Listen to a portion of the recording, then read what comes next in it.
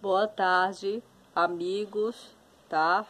Pessoas aí que já são, né, inscritos no meu canal, mas vocês que entraram agora e que esteja aí escrevendo no canal Denise Artesã, tá bom? Dando essa força aí. Eu agradecerei muito. E não esquece, pessoal, deixa teu joinha, tá bom? Para estar é, mais e mais pessoas também vendo os meus vídeos, tá bom? Agradecerei muito. Bom, vamos iniciar aqui em Salmos 92, 13, 15, que diz: Plantando na casa do Senhor, florescerão no astro do nosso Deus. Na velhice darão ainda frutos, serão cheios de seiva e de verdor para anunciar que o Senhor é reto. Amém? Com essa linda, maravilhosa palavras, estarei passando para vocês três canais, tá? De pessoal que eu estou indicando hoje, tá, pessoal? Indico a vocês que esteja lá entrando no canal, tá bom? Inscrevendo no canal, ajudando essas pessoas e tem muitas coisas interessantes no canal deles, tá bom?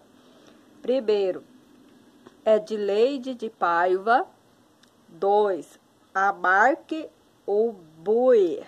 Esse canal não é brasileiro, mas eu indico muito para vocês, é maravilhoso. 3. Cida Santos Orquídeas. Amém? Então vamos com essa maravilha dessa orquídea aqui, ó, com essa floração maravilhosa, que é o Apote Burana. Vamos então estar iniciando, tá, pessoal? E outra coisa, pessoal, vocês reparam minha voz, então, que eu estou bem atacada de rinite alérgica, tá? Vocês vão me perdoando aí. E outra coisa, tá? Quase chovendo, tá? E, e olha só, eu tinha que mostrar isso aqui.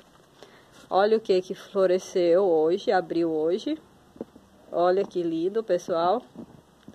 Essa aqui veio com a identificação que é o Apote Love Párcio.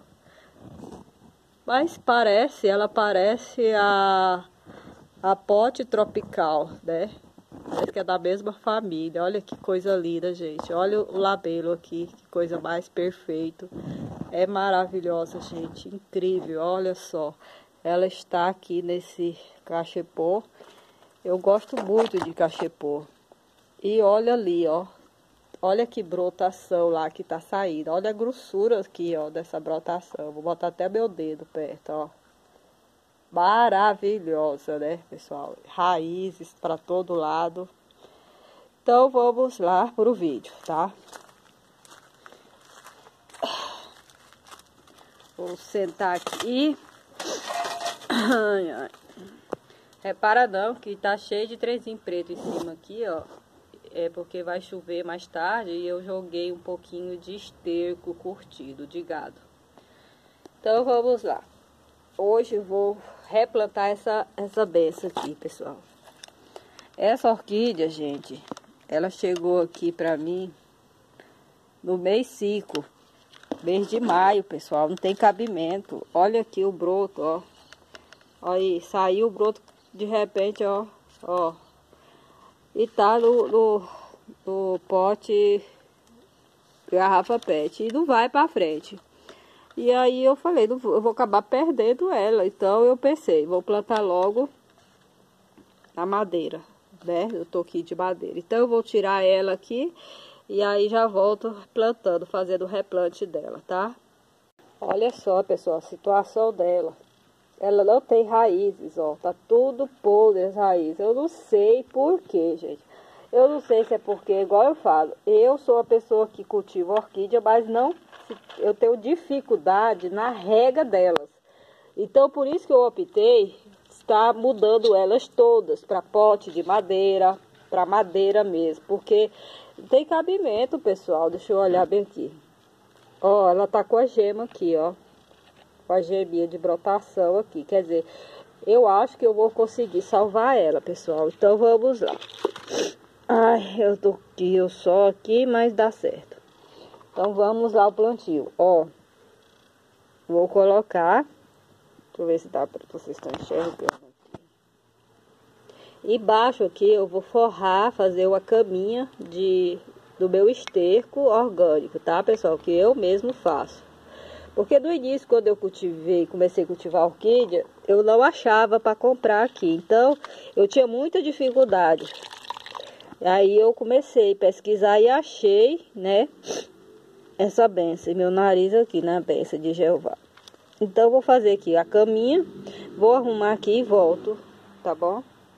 Olha aí, eu já amarrei o musgo aqui em cima do, do, do adubo. E eu vou deixar o link também Além dos vídeos que eu, que eu, dos canais que eu divulguei, vou deixar o link do adubo, tá? Que eu ensino passo a passo como eu faço, tá bom?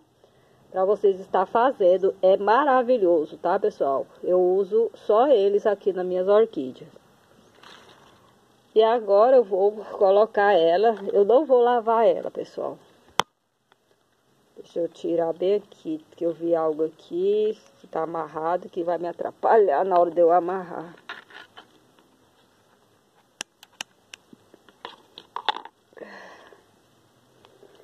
Eu vou tentar começar aqui e eu termino. Olha aí, ó. Já comecei a amarrar e ela tá toda assim, ó. Muito desidratada. Então isso aqui vai ser uma luta travada para me conseguir salvar ela, pessoal. Mas eu vou, não desisto não. Eu vou tentar salvar ela. Aí eu vou ver aqui de uma forma para não estragar o aquele onde vai sair a brotação. Ela tá toda mole, meu Deus. Agora eu vou amarrar aqui.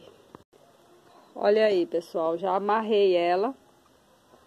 Aí aqui, ó, em cima eu vou fazer, meu esposo depois faz um buraco aqui, ó, pra me colocar o arame pra espendurar. Só que eu, como ela está mole, olha só, se eu espendurar ela assim, o que vai acontecer? Ela vai ficar só caindo as folhas dela. Então, eu vou dar um jeito de amarrar ela assim, ó, dessa forma aqui, ó, de ponta cabeça aqui, porque Primeiro, vai ter mais facilidade dela sair o broto mais rápido. É como os vídeos, o penúltimo vídeo aí que eu fiz, que eu mostro para vocês que eu coloco algumas é, plantas orquídea para brotar sem substrato, né? Aí, então dessa forma ela sai mais rápido os brotos. Então eu vou dar um jeito de espendurar ela dessa forma aqui, para ver se eu salvo ela, tá, pessoal? E vamos lá, esperar para ver se vai ter algum resultado, tá? Eu vou estar mostrando rapidinho aqui outra coisa aqui interessante. Olha aí essa coisa linda, olha a cor, até que é escura, cor bem escura, né?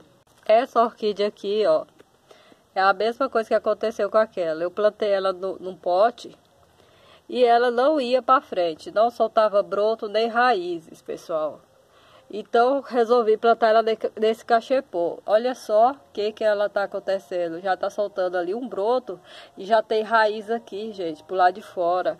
Eu vou deixar o link desse vídeo do dia que eu plantei ela aqui, tá bom? Para vocês estar vendo a situação que ela estava. Ó, já tem raízes aqui, gente. Olha que lindo. Já para todo lado tem raizinha aqui, ó, embaixo.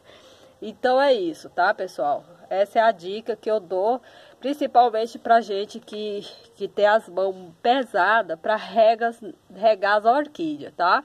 Então faça isso.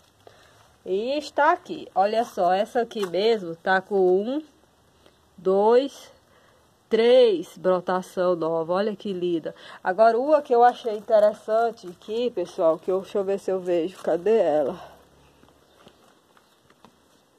Eu vou achar aqui e volto. Essa aqui, ó. Deixa eu te... Olha só. Às vezes falo do pote. Agora eu não sei se é porque esse pote é bem vazado, ele é todo furado embaixo. E aqui deu certo, olha só. Eu plantei ela, coloquei só brita, é, isopor e brita. Olha só, pessoal. Olha a grossura desse, desse, dessa brotação, gente. E eu plantei ela agora, quer ver? Dia dia 28 do 8, quer dizer, não tem nem um mês que eu plantei ela. E olha o tanto de raízes que ela já me deu e essa brotação. Quer dizer, nem é, é incrível que eu percebi que nem toda orquídea tem que mudar. Tipo assim, uma gosta do pote, a outra já não gosta. Mas vai depender também do pote, né? Essa também foi do mesmo jeito que eu fiz. E olha só, ó, não tem nem um mês que eu plantei. E olha só, raízes lá, ó. Já tá com raízes também, pessoal. Interessante. Essa aqui, pessoal, olha só que interessante. A frente dela é pra cá, né? Olha só, ela saiu esse broto lindo com raízes. E olha só o que, que eu vi ontem. A traseira dela, pessoal, que é aqui, tá saindo uma brotação, gente. Olha isso. Olha lá. Eu vi ontem. Achei interessante, que geralmente a traseira da orquídea não solta brotação. Olha isso. Então é isso, pessoal, tá? Esse é o, é o vídeo de hoje, tá bom? Eu peço que vocês estejam assistindo, compartilhando aí, tá? Dando esse joinha pra a sua amiga de vocês aí, tá, pessoal? Então tá, com essa lindeza eu termino esse vídeo, tá? Agradecendo que Deus abençoe grandemente cada um de vocês. E fiquem todos na paz do Senhor Jesus, que nós precisamos muito. E até o próximo vídeo.